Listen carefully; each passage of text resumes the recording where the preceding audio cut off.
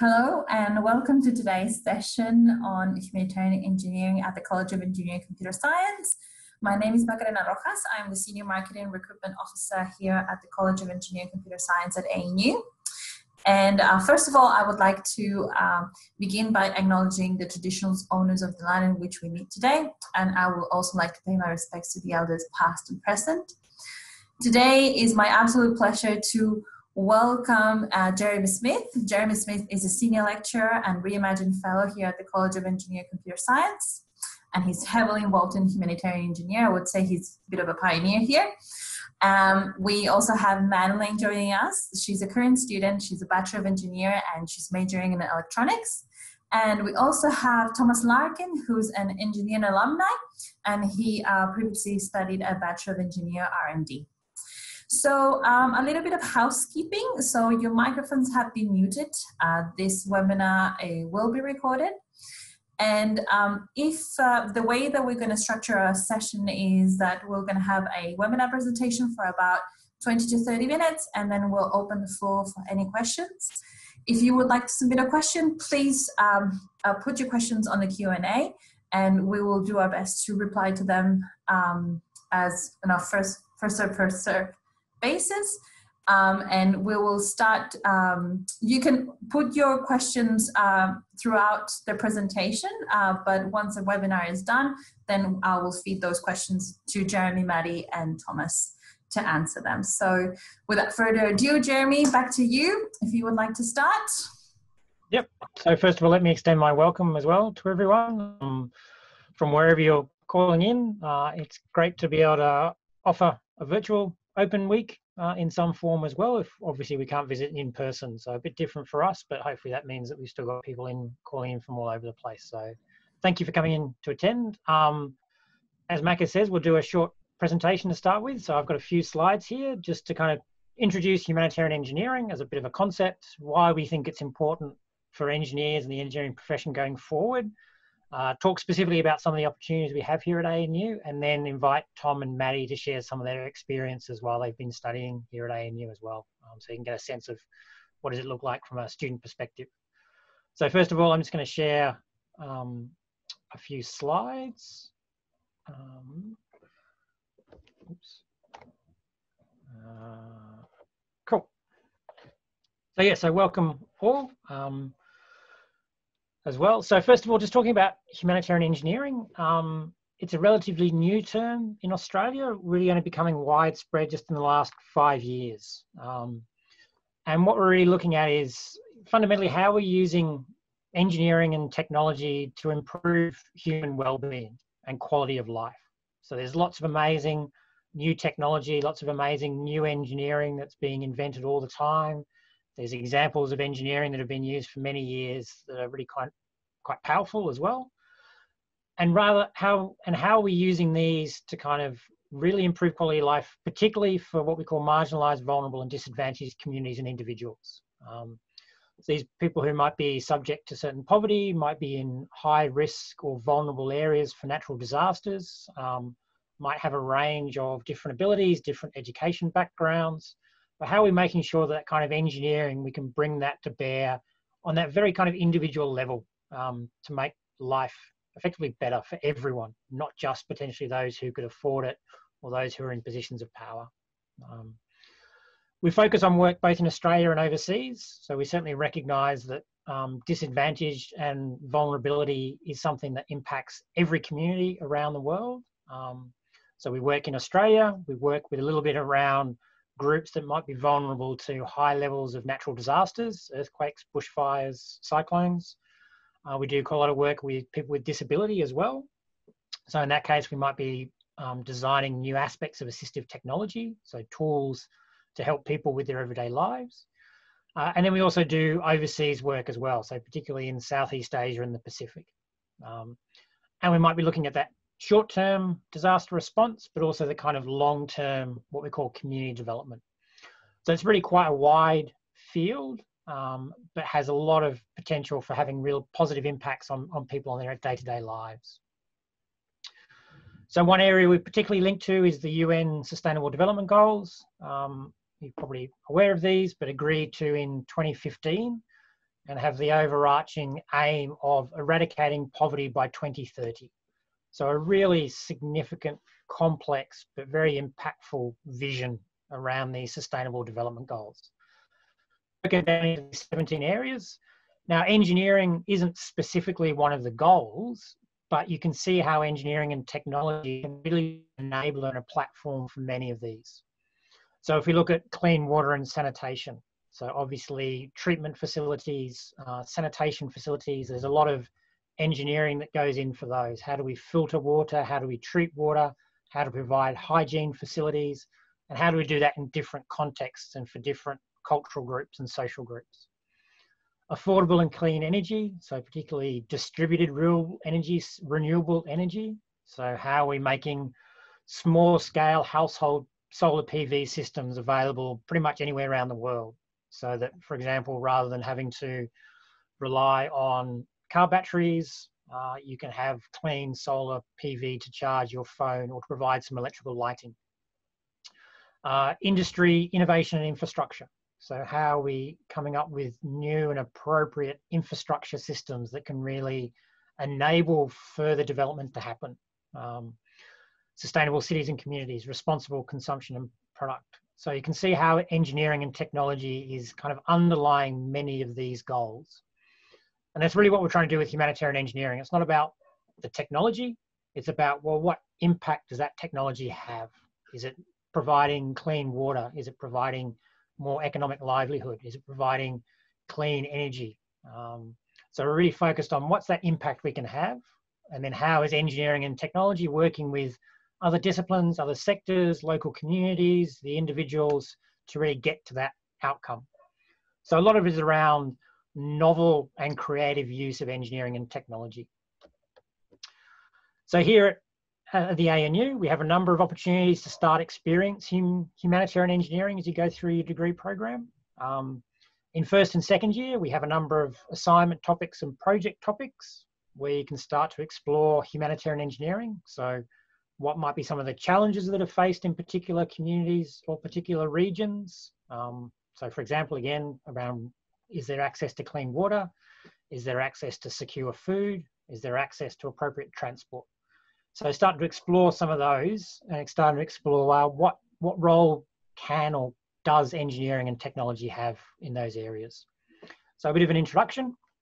Um, we've then got uh, a number of overseas partners that we've worked with over five years now, um, where we can provide short-term experiences to really kind of get engaged in the community development side of it, and a real opportunity to kind of explore that and embed yourself in that.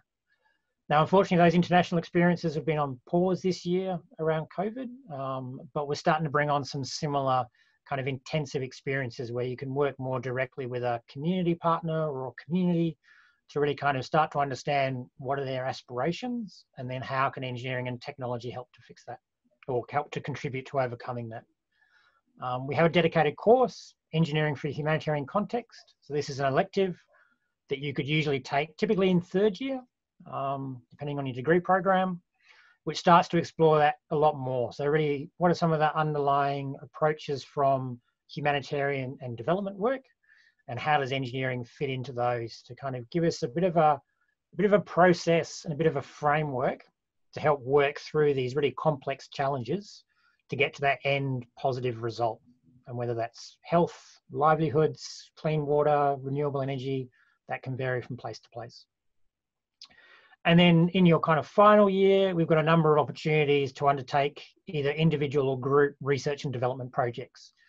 And these might be one semester or two semesters where you might work quite closely with an individual community partner uh, and work directly with them on a, on a problem or a challenge that they've identified that they need some engineering or technology assistance to overcome. So it's a bit of a kind of a pathway starting in first and second year and exposing you a little bit more so that the time you get to fourth year, you can work quite closely with a partner um, and come up with some outcomes that might be used. So Tom and Maddie will talk about their experiences with those in a little bit, uh, in a bit more detail. Alongside that, we've also got a number of kind of extracurricular and, and co-curricular opportunities. Um, so we have a local chapter of Engineers Without Borders Australia based in the ACT who do quite a lot of outreach activity. Um, We've got what's called the Grand Challenge Scholars Program. So this actually is from the United States of America, but it's a framework that allows you to get recognized for your studies and your extracurricular activities um, for particular grand challenges that the world is facing at the moment. And some of those challenges are around clean water, solar energy, personalized learning, and restoring infrastructure. So it's kind of an extra recognition above and beyond just your degree for doing extra work in these kinds of areas as well. So through these, you can kind of weave together individual pathways based on formal courses and kind of extracurricular activities. But it gives you an opportunity to engage in every year of your degree. To talk through some of the specific examples and projects and partners we're working with. Um, so in terms of those short-term immersive experiences, we have about four partners that I think we're working with at the moment um, to, to, provide this. And we have projects and funding um, to support projects in Nepal in the top left, um, in India, uh, in Cambodia, and also we've done a little work in, in, in the Pacific in Samoa as well. So in these situations, we've had students go on typically a two-week trip with other students from around Australia uh, and spend two weeks in that country exploring some of the concepts uh, around humanitarian engineering, around development, around engineering, uh, understanding some of the cultural perspectives, some of the history of that country, a little bit of language, and then usually having a, a four to five day uh, in community experience where you then work in small teams of three or four or five other students to really apply those techniques and start to identify some opportunities where engineering or technology could potentially be used or have an impact. Um, so it's a really good way of engaging with students from around Australia and a community partner. They're heavily facilitated by both engineers and non-engineers, so it's a great way of kind of learning from um, people who've been through those experiences as well.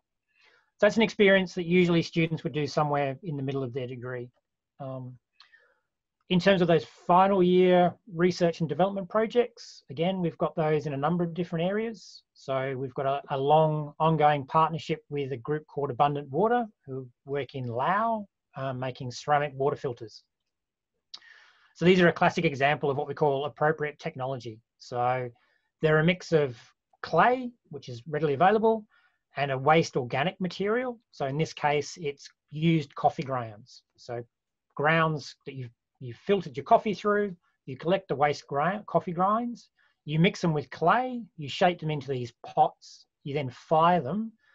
The organic material burns out and in the clay so it's hard, and you're left with a very efficient microfilter that can filter out waterborne bacteria and things like E. coli, which are very prevalent in Laos.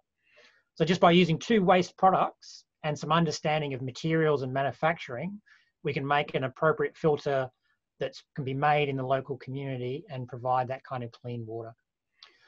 We've had a project going on in Papua New Guinea in the cocoa bean industry. Um, I'm going to leave Tom and, and Maddie to talk about that because they've both have been and are currently involved in that project. Um, but as I say, we've also got projects based here in Australia. So one of the examples is a partner based in Sydney who uses 3D scanning and 3D printing technology to make customized 3D printed orthoses casts, particularly for children who might have cerebral palsy or similar conditions that affects on their muscle development. In those cases, children are growing very quickly. They need casts maybe every six months or so. Traditionally, they're quite expensive to make. But in this way, you can basically scan a child's leg, convert that to a digital model, and then 3D print a cast at much lower cost that's customized to that child. Um, so it can really aid and, and support their rehabilitation much faster. So we've been looking at ways of how do you make sure those are strong enough, uh, provide enough support for the for the child, but are still flexible to support their movement. So you can really see what counts as engineering in here can vary dramatically, and that's really what we're looking at. What's the outcome we're trying to achieve, and what's the engineering to help us get there. We now also have a formal minor in humanitarian engineering. So this sits along your discipline major. So here at the ANU, you'll do a Bachelor of Engineering and you'll pick a major. You can now do a minor of humanitarian engineering that sits alongside that. Um, and what that really does is give you an extra set of tools to how do you take that, you know, renewable energy or mechatronics or electronics major and apply it into complex humanitarian or development situations. So it includes courses from around the ANU. So the ANU has some real strengths in social science, in environment and society, and in Asia and Pacific. So we draw from some of those courses. So an introduction to development, our engineering for a humanitarian context course, which is really where you start to weave the elements together. Uh, a specific context course, so that could be disaster response, domestic development, international development, depending, depending on what your interests are. And then importantly, a multidisciplinary elective course. So working in humanitarian and development work is inherently very multidisciplinary. So you need to be working alongside social scientists, scientists, environmental scientists, uh, policy, business, economics. So you need to be able to work in those teams to effectively come up with the most effective solution that's going to have the biggest impact. So it's really exposing you to that process as well. So this minor um, started last year, and again, it's kind of designed so you can map it over a four to five year program as well. What I might do now to kind of invite Tom first of all, and then Maddie, just to share some of their experiences in going through this and some of their interest for getting involved and what they're getting involved with. So, Tom, if you're happy to, to talk about your experiences.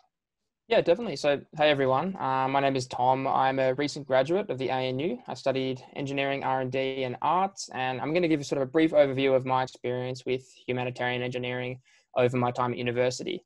Um, so, as Jeremy sort of touched on before, there's lots of different pathways you can take with humanitarian engineering at the ANU, and I think I took, uh, in my opinion, a pretty unique and interesting pathway um, that started with a design summit in my fourth year of study. So I took part in an Engineers Without Borders Design Summit. Um, one of those summits that Jeremy was mentioning before. My program was a two week program in Cambodia. And I'd say the two weeks, looking back on it, really opened my eyes up to, I guess, the complexity and the challenges of humanitarian engineering. Um, I think the lasting impression that the Design Summit made on me and what I think really encouraged me to keep pursuing humanitarian engineering is that I found myself on the Design Summit having to exercise a lot of skills that I don't think I'd really like tried to cultivate in other courses. So I was really really challenged to empathize with the clients, with end users of products. I was really challenged to communicate effectively with people. Um, I was really challenged to work in diverse teams, and I think those skills were eye opening and challenging.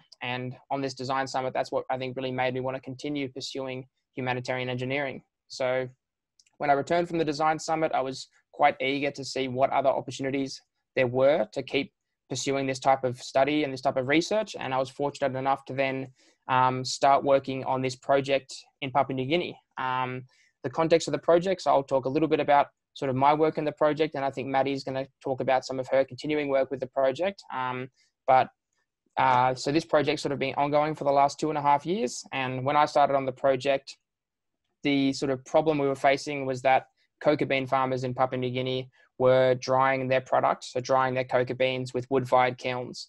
And the problem with that is that the wood-fired kilns would release smoke taint into the beans, which would lower the value and I guess lower the taste of this sort of fine flavor export cocoa. So I was part of a group of students and researchers when I was working on the project who were looking to design a an alternative drying mechanism, one that ideally removed the smoke taint without adding too much of an additional cost overhead. Um, and this experience in the project, this sort of first-hand humanitarian engineering individual research project and also group research project, I think really allowed me to keep um, cultivating those skills that I mentioned that I picked up in the design summit. So my skills in leadership, in communication, in solving complex interdisciplinary challenges. Um, over the course of my honors year, I sort of dabbled a bit in the fluid mechanics, the manufacturing, the design, sort of the field work. I got I got a really good taste of lots of different really critical engineering skills. Um, and I think yeah, from a, from the perspective of someone who's now graduated from the ANU, I think that my experiences with humanitarian engineering really, I guess, solidified some of my leadership and my technical and my sort of other really really important professional skills. Um, and yeah, that's I guess my experience of humanitarian engineering. Thanks, Tom. So we should point out these these pictures are from Tom's visit. You had a week or ten days over there at one point. Yeah, yeah, one week trip. Um, so that's me on the left as I was about three years ago. So hopefully not looking too different. Um, but this particular challenge is that if we can solve this issue of the smoke taint, the value of the beans would kind of almost double straight away, even if we didn't change anything else. Um, and most of the beans in Papua New Guinea or this part of Papua New Guinea are grown by small households, so it's really they're basically their cash crop. So if we can double the value of that, it's having a big impact on the livelihoods of those individual households and those families as well. Um, did you want to talk about um, your experiences as well then? Yeah. Um, so I think I've had a similar experience in um, humanitarian engineering to Tom. Um, but I think my main motivation for even doing engineering was that I wanted to challenge myself. And I don't think, you know, um, working in a field with very specific needs and a lot of sort of limiting constraints and sort of challenging conditions, you know, it, humanitarian engineering and working in sort of these areas was just perfect for me. And I really quite enjoy it. Um, but I was introduced in through doing the special um, uh, topic in engineering, which was the humanitarian um, engineering course that Jeremy was talking about earlier.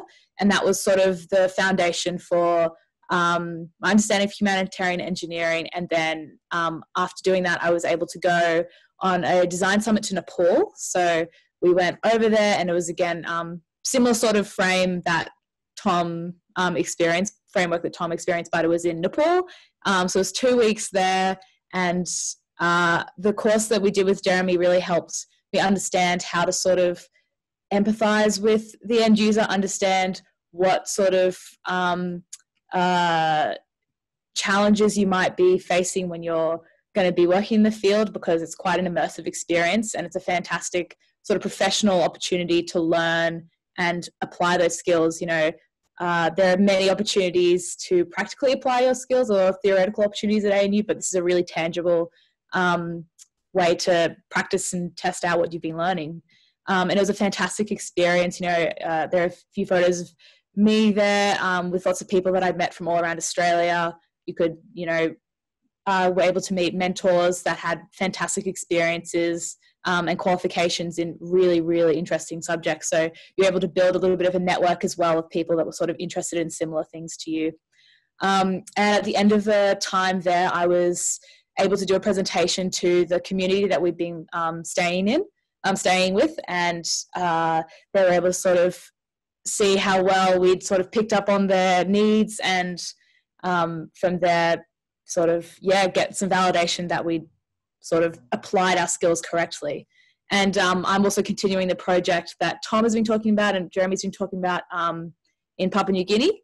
And so we're sort of looking at a different way to cool these beans. First we're looking at biodigesters which are really cool um, sort of tools that turn waste products into energy um, but due to many different constraints that you find when you're in the field, we've moved on to looking at heat pipes instead, which are very efficient um, conductors of heat, which we can use to cool the cocoa beans. So it's been a really, really interesting and challenging experience, but I think that it's made me um, a better lateral thinker, more flexible and dynamic when it comes to solving problems. So it's been a very, very, very rewarding um, course and path and my time at ANU. Thanks, Manny. Um, and I certainly that's that's the feedback we get from I'd probably say all of our students that being involved in these experiences makes you a better engineer. Period.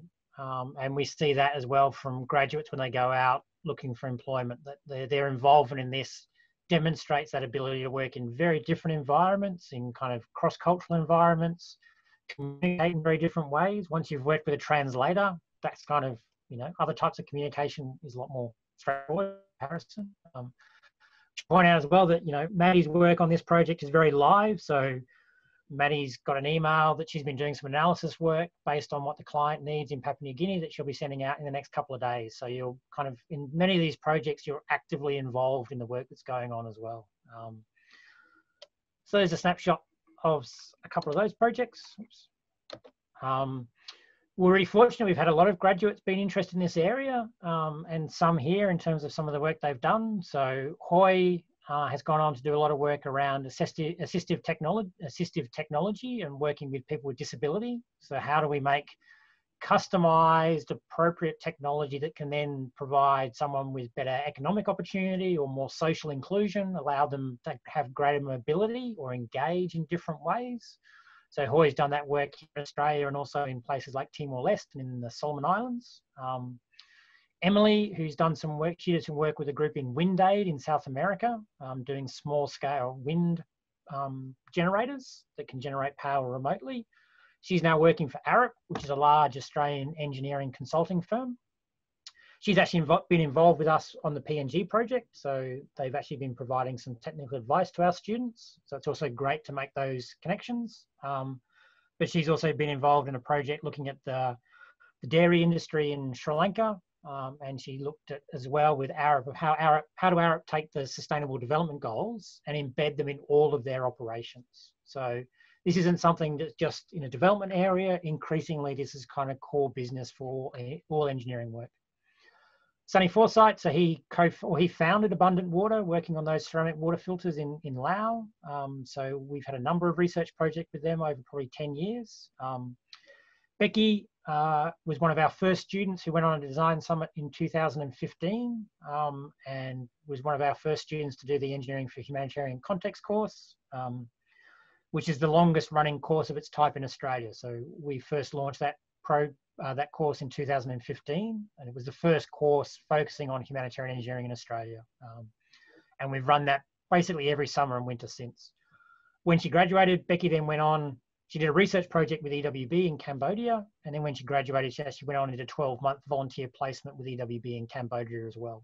Um, and then Afnan, so he's actually co-founded a, an organisation called Okra Solar, who are making and installing small scale microgrids for Cambodia. So when you've got household energy, being able to connect those into kind of village level networks so that you can distribute the energy and have a much greater capacity and robustness in your system. Um, and then now rolling that rolling that technology out into a couple of other countries as well.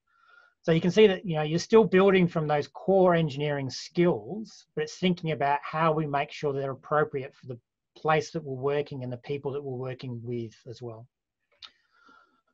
Really, it's the kind of the, the bigger impact. It's about how do we use our engineering and technology to have a positive impact on human well-being for everybody, not just those who can afford it.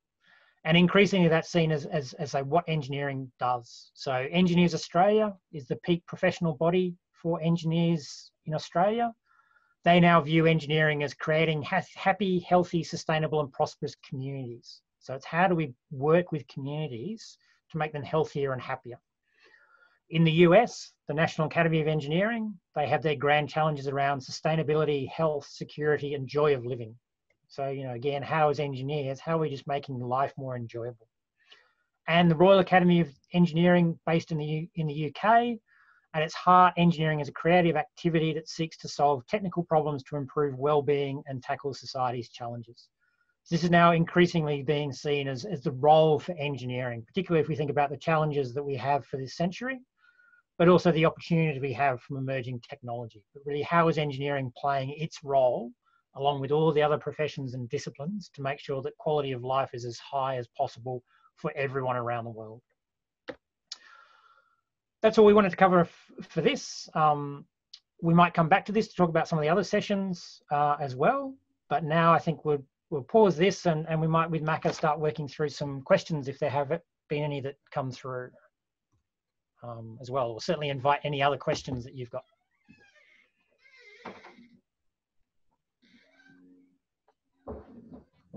I just realized I have my phone. It's muted. Typical.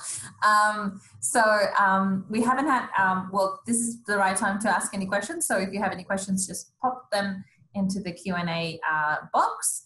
But um, while we wait for some questions, I actually um, do have one question. I, I, I'm, I would like to know how humanitarian engineer engineering uh, relates to systems engineering. So the one thing about ANU that is very different uh, and that really stands out from other universities is our systems engineering focus. So how does uh, humanitarian engineer uh, is inbuilt in the, into that concept or into that um, focus? I might have first go, but then I might invite Maddie and Tom as well to kind of how they've how they found that. Um, so yeah, so systems engineering uh, is about thinking about complex systems and, and systems made up of multiple subsystems and components, thinking about that over an entire life cycle. It's not just design or operation, but then also end of life. And also being aware of social, cultural, and environmental uh, and economic impacts and, and sustainability as well. So that gives a, an amazing foundation for humanitarian engineering. So it's one of the reasons that humanitarian engineering has certainly grown here at ANU compared to other universities. That within our systems engineering, we're already thinking a bit about life cycle, thinking about sustainability from different perspectives, thinking about our kind of human users and that those elements as well. And so humanitarian engineering is is almost a, an extra step for that. Um, and if you can apply those systems engineering principles for a humanitarian and a development context, where you're often resource constrained, you often have larger uh, social and cultural factors that you need to think about. The environmental sustainability can be more important. If you can do it in that space, then you'll be able to apply it much more broadly into kind of a lot more other contexts as well. And in some ways, it becomes easier. So humanitarian engineering almost is like a, an, an, extreme version of that, I think. But they they certainly build for some very similar tool sets as well and, and approaches and techniques. But if Maddie and Tom have listened, yeah, yeah. Well? I definitely um, have something to add, particularly going on one of the design summits and sort of learning the seeing the difference between how I had approached problems and identifying what the problem was, and more importantly, what the solution would look like um, in comparison to a lot of uh, other students from other different universities that sort of had a slightly different um, engineering degree setup where they had just their sort of major as their um, degree. I found that I was able to see the bigger picture a lot and also um, sort of structurally outline what an appropriate solution would actually look like. So it was quite, it was a noticeable difference, um, particularly, and I was just using the skills that I'd been learning throughout my systems engineering degree. So it's definitely um, also on that, definitely something to look forward to after doing some of the foundation courses because you'll find it's a much enriching, more enriching learning experience. Yeah, I don't really have anything to add there. I think you both summarized it really well. Uh, but I do think that, yeah, systems engineering and humanitarian engineering go hand in hand. And I think that's what really attracted me to humanitarian engineering was the fact that I would be able to use all of these very cross-disciplinary skills that I picked up in my systems degree. I think that's some feedback we often get from the design summit. So as Maddie says, starting to work with other traditional disciplines, so with civil, electrical, mechanical, um, as a systems engineer, you need to think about how all those different aspects fit together within the actual context you're you're you're building for and the users you're building with as well. Um, and the other aspect of that is, um, you know, going on something like a design summit forces you to trust your tools. You know, it's a completely unknown environment. You know, we don't know exactly what's going to happen. We don't know exactly what's going to merge. We can't create experiences like that on a campus and so it forces you to kind of trust the tools and the process that you have to get you through those unknowns and that uncertainty as well Thanks, Jeremy. We actually have one question, um, and um, it was one of the questions that I wanted to ask as well. Um, what sort of employment opportunities or organizations could this course lead you to? And I think you've touched a little bit about um, with um, some of the stories, but um, yeah, if you have any other additional ones, just yes. Yeah, certainly. So we've because this is so new, we're still finding that out in many respects, and so um, because some of the opportunities here at ANU are a little bit longer than some other universities, and it's great to see plenty of opportunities around the country. Um, we've been following our graduates a little bit more to see where they do end up. I think it's certainly safe to say that most of our graduates will still end up in traditional engineering roles or with engineering firms, but they're certainly seen as being more if you want a better word, employable because they've got that broader skill set. Um, and when we think about modern engineering in a country like Australia, that ability to think through the requirements, why are we building this technology, who are we building it for, and increasingly thinking through the social and the environmental impacts um, are becoming increasingly important and isn't a traditional skill set that we've equipped many engineers with. So we often find that even if our graduates go to a, a, a traditional engineering consulting firm or construction firm or resources or, envi- or energy, they're still bringing that kind of human dimension to their work. And that's usually what their employers are looking for is to not just focus on the technical design but that technical design and the humans it's being designed for.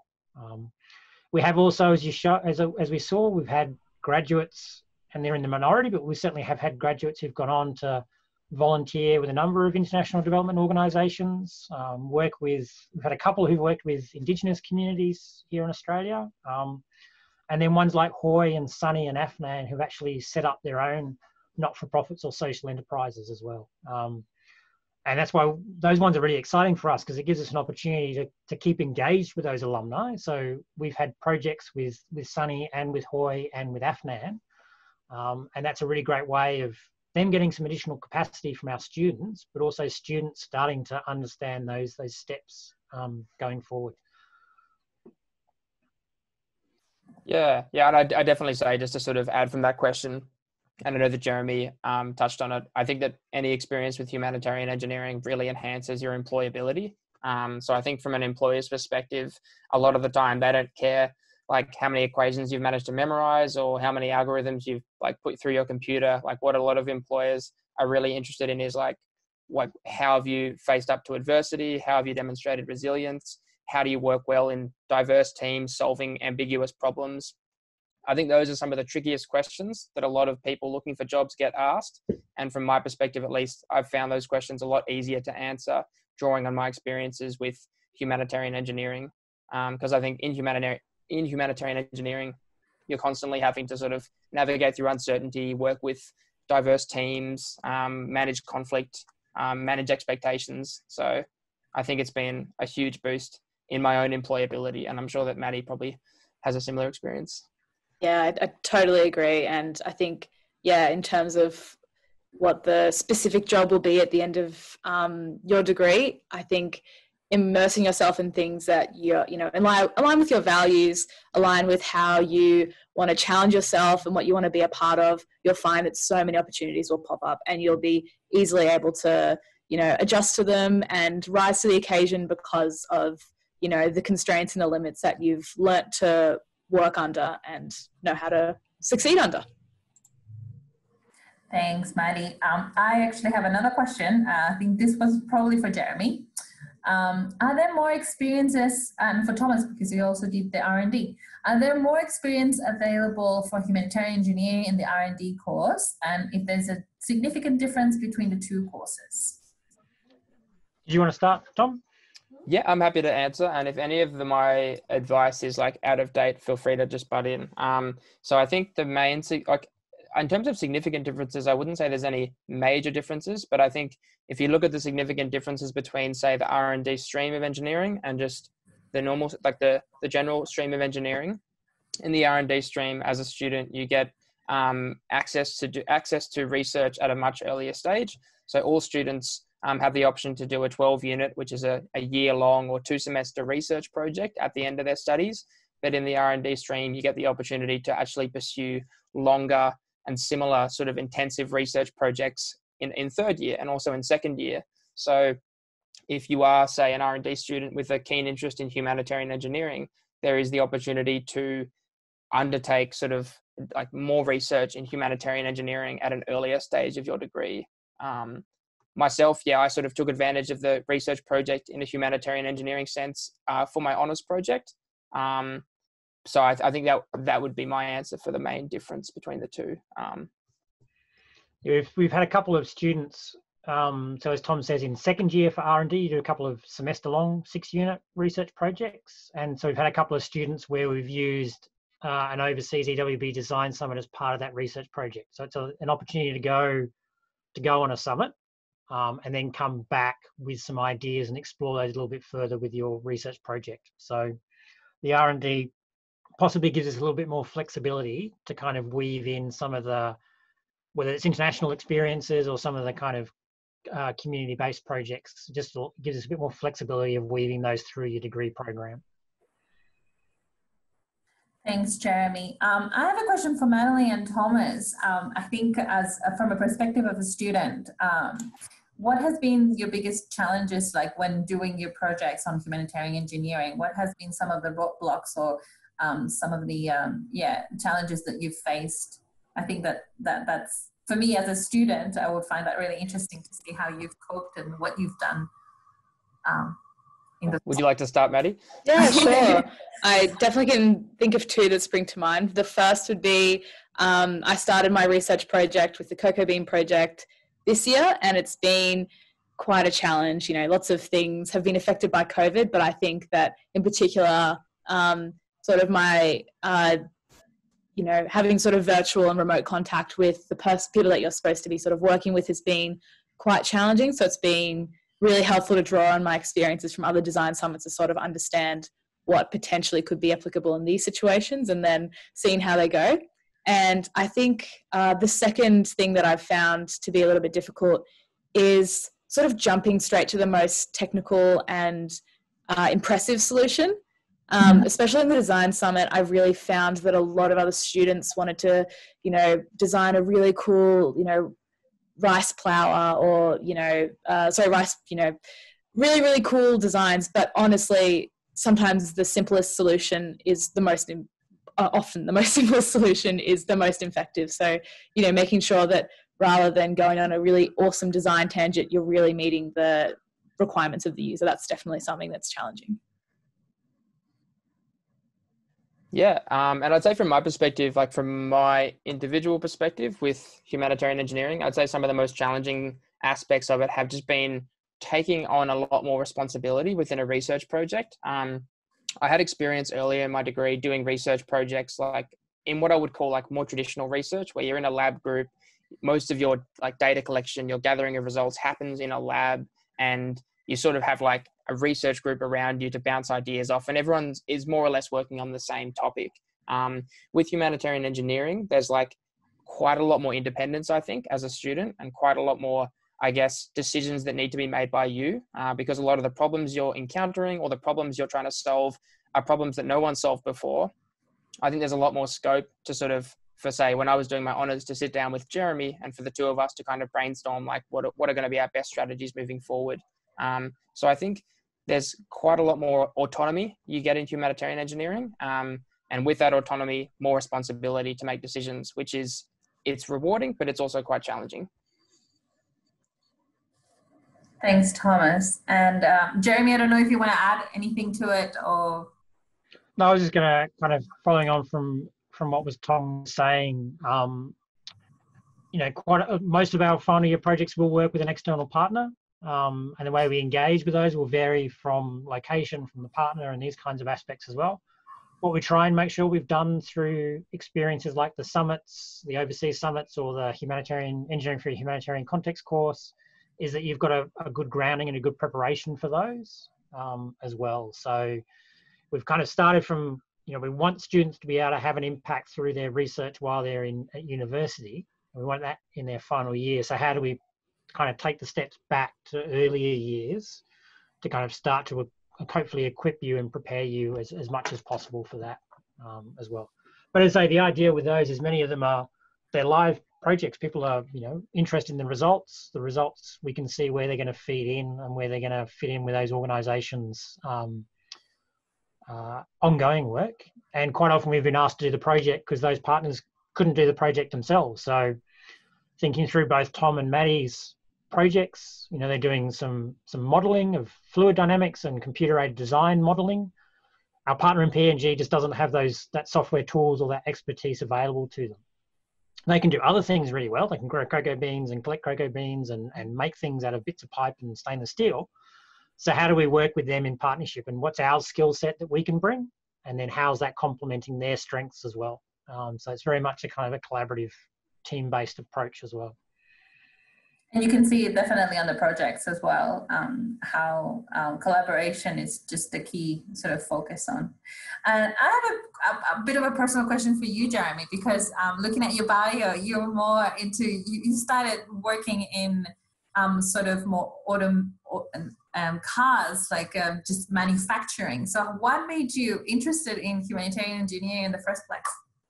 So I was very so I did my undergraduate degree at ANU as well. I did a double degree in engineering and information technology, and then was fortunate to get a position as a research assistant. We had a very large collaborative research project looking in the automotive industry um, with some other universities and suppliers, and particularly with the Ford um, Ford Motor Company as well.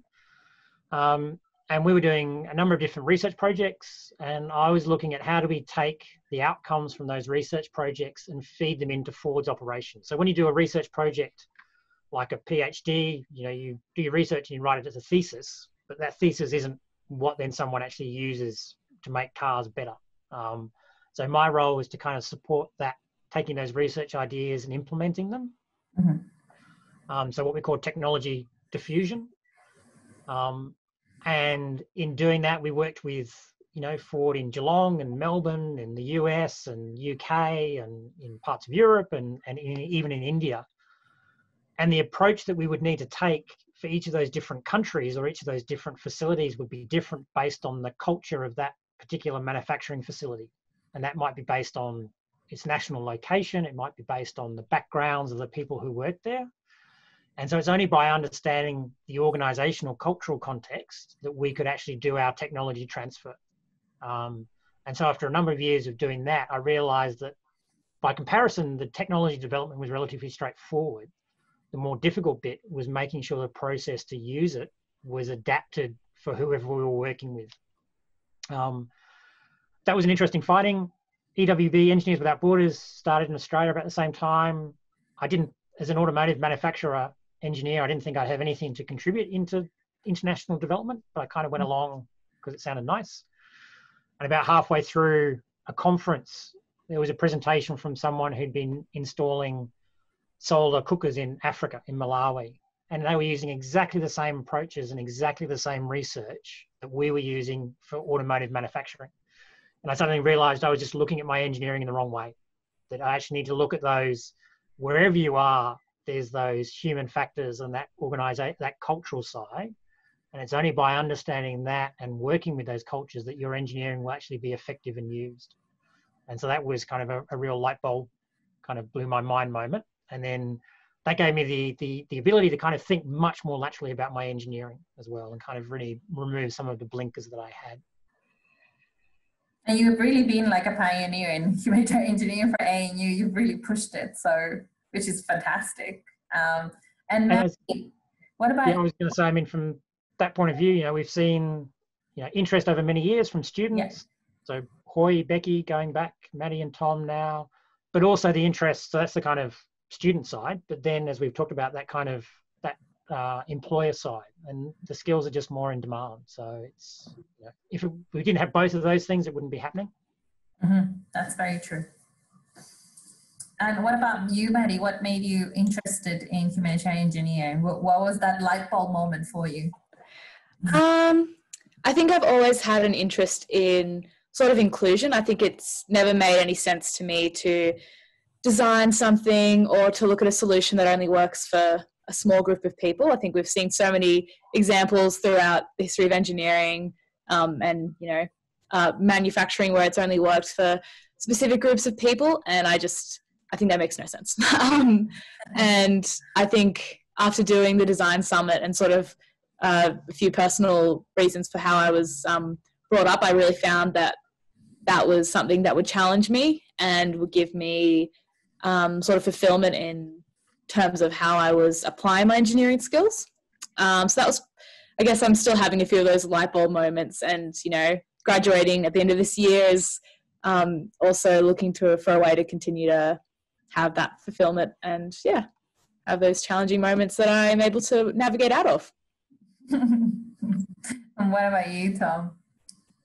Yeah i think i think maddie put it really well at the end there. There's like i probably had like a few light bulb moments during my degree but i think i'm still continuing continuing to have those light bulb moments. Um, i think similar to maddie i was really I've always been quite passionate about making some kind of impact. Like so taking sort of the skills and the opportunities and I guess like the privilege that I've been able to to like have growing up and try to translate that into positive impact to other people. Um, I think going into engineering, that probably wasn't at the forefront of why I chose to do engineering. I think I was just keen to get into the nitty gritty of maths and numbers and complex systems. Um, and it definitely wasn't until the Engineers Without Borders Design Summit that I went on where I had this sort of, I managed to, and I think Jeremy put it really well, like draw the connection between my skills and the work that other people were doing. And I think I saw the work that other people were doing, and that looked like more interesting and more impactful work. And I saw my skills and thought, ah, like I think I can sort of fit myself in that, like sort of change lanes effectively. Um, and so, yeah, I guess I had that sort of preconceived idea that oh, like I'm not a doctor, like I can't make a direct impact to people's health, but like as an engineer, like you can improve water and sanitation facilities, or you can improve cocoa bean farming and thereby like allow more money to come back to smallholder farmers and then for those farmers to spend the money on better education and better healthcare. So it's sort of it's sort of the ways you can make more of an like I don't, I don't know what the word is here, but like make less of an explicit impact and more of like a strong impact in more subtle ways, I think, with engineering. So I think, yeah, I think I'm still continuing to have those light bulb moments, but still trying to sort mm-hmm. of make my future career and study decisions based on like where I can have that impact. Thanks, Tom. And on the topic of impact, Jeremy, which have, have been the projects that you've been more most proud of uh, in terms of impact? I know you do. I mean, there's every year there's lots of different projects that you are working on. Um, so yeah, just curious to know which ones have been the ones that you're most proud of. Uh, I mean, personally, the the ones that I'm most proud of are actually around the education that we've been putting together. So to work on one project that might have an outcome, you know, such as one of our abundant water projects where we've been able to demonstrate, uh, you know, a more res- more robust water filter that's going to have, you know, benefit to the, you know, a couple of thousand people who might buy those filters is, is great. But it's still one project. Um, so the education side is particular in, of interest to me. So how do we construct a broader education environment that then is going to have lots of people coming out to make change in lots of different areas. And it's that broad impact that we need to have. So we don't need engineers to just go and work in, in Laos on water filtration. We need engineers in Australia to kind of advocate and I think as Tom said, demonstrate leadership as well and point out that as an engineering profession, the technologies and the engineering we design have a global impact now. There's there's no two ways about it. And so it's not just the kind of the end user aspect of it. How are we trying to shape policy, how are we trying to shape practice, how are we having, you know, in all the organizations we work with, point out that all of our engineering needs to be focused around those kind of human impacts. Uh, we can't ignore environmental impacts, we can't ignore negative social impact. We can't design just for, as Maddie said, one type of person. You know, we can't limit our benefits to just one demographic. So I think the the kind of the education system that we've managed to put together and now watching where our graduates are going and you know some are championing work overseas and some are championing work in australia and some in consultants and it's collectively that kind of voice as that gets bigger and louder will have a, a much bigger impact on the engineering profession as a whole which is what we really need when we think about the challenges that we're facing this century Thanks, uh, Jeremy. That's a really good. Uh, that's a really good comment. And also, I think one of the things that I find really interesting about humanitarian engineering how it, it's how interdisciplinary it is. So it's just not just systems engineering, not just engineering. You actually have to have a, a connection with um, policy. Um, so you not just work within the college. You actually collaborate. There's a lot of collaboration within colleges and other universities as well to achieve the, that kind of impact. So I was wondering if you can tell us a little bit about that as well, what collaboration with other schools. So we've, the last couple of years, we've had a couple of projects on campus. So we had a project last year where we worked with the Fenner School of Environment and also actually the, the School of Culture, History and Language. Um, and some of the academics in there had worked on or been working on uh, it was hydrology in Indonesia um, and looking at water flows. It was an area where there'd been um, alluvial gold mining. So it was a gold rush that ran for about 10 years, and all the rice farmers became gold farmers, um, sorry, gold miners and gold. the gold ran out. They went back to being farmers, but they left a lot of the pollution and the contaminants that go with gold mining, so particularly mercury. So this has now started to leach out and is getting into the water supply and then into the rice paddies and, and fish as well. Um, and so we knew an academic from another university who developed this really novel polymer based on sulfur, which is a waste product from the petroleum industry, and waste cooking oil, waste vegetable oil. That when you combine it appropriately is absorbent to mercury, but not necessarily other things. And so we were looking at how could you use this material to then start to absorb mercury out of that environment before it starts to get into the water supply. So that needed to understand the hydrology aspect of it and how the water flows. It needed to understand the mercury contamination. Um, and so that's why the academic from the School of Culture, History and Language had the best mercury analyzer in the Southern Hemisphere. Um, wow. we were working with her. And then our engineering students were bringing the materials and the manufacturing side of it. But it's only understanding all those different aspects that we can start to approach a complex problem like that. Um, so that was one example just from last year that we're still working on and kind of looking at some of the results that have come out from that. Um, increasingly working with other universities as well around Australia. Um, and as you said, so much of this is around collaboration. You know, the, the, the challenges are, are, big and complex. Um, and the relationships and the partnerships that are required to approach them as well um, need to be need to be solid. So uh, working with other universities, other organisations, um, to each bring our own individual skill set and our own strengths, and also recognizing where your limitations are. So, you know, we're good at doing certain things, not other things. So, how do we find someone who's good at that part so that the work we're doing overall is as, is impactful as possible? And I would imagine that at those design summits, you would actually get the opportunity to actually meet those people from different universities who are doing similar things so you can collaborate together. Um, so that that sounds amazing to me. Um, so that's one of the other. To find your community, basically.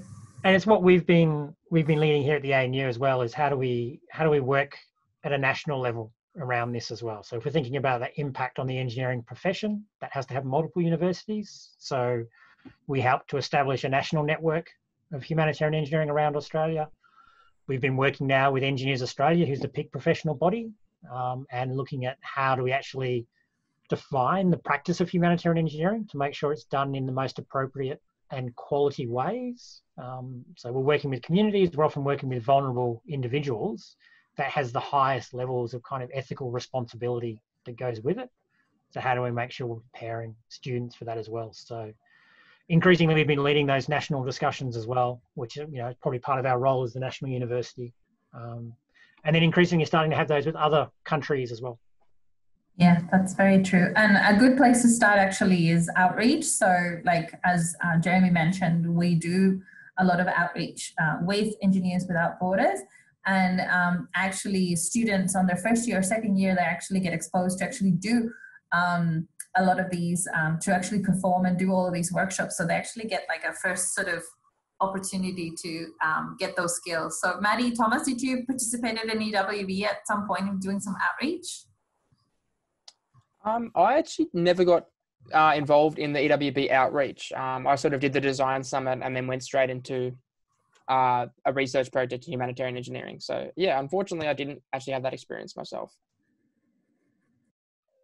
Yeah, I wasn't a part of the specific outreach. I definitely attended a few events. Um, I think I had a lot of put a lot of energy into um, 50/50, which is a sort of um, organization promoting gender equity in STEM, which is another thing you can get a part of. Just doing my you know obligatory plug and on that actually on that, that topic um, it's actually a good opportunity to actually mention that on friday at 2.30 we actually have a panel a student panel with the different uh, organizations uh, that um, are here at the college of engineering computer science and we will have representatives from 50-50 uh, uh, from rocketry uh, Engineers Without Borders, um, and RoboGals. So you actually also get an opportunity to talk to them. Um, so that's fantastic. Um, so I'm just, I think we've reached the time. So I just want to thank uh, Jeremy, Maddie, and Thomas for joining us today. Um, and again, if you have any questions or if you want to talk to Jeremy, um, you can just send us an email at marketing.cecs at anu.edu.au and we would happily um, answer any questions you might have about um, humanitarian engineering. And I invite you to look at the program that we have. We still have three days left of virtual open day events, and there's uh, quite a big, big, big lineup of events. And actually on Friday, there's, oh, Jeremy is showing now the little, uh, the timetable. So if you're interested in engineering, I would definitely uh, recommend coming on Friday uh, to talk to Professor Kylie Catchpole and Associate Professor uh, Sean Zhu to talk. Uh, we'll have a, a session on um, just engineering, basically, and a student panel. And actually, uh, at the end at five to six, we're going to have the 30 years of engineering ANU panel. So, uh, plenty of opportunities to engage with us uh, and get your questions answered. Um, so, thank you very much to everybody, and I hope you have a lovely afternoon. And um, if you have, again, any questions, just let us know. So thank you. See ya. Thanks, everyone. Bye. Thank you. Bye.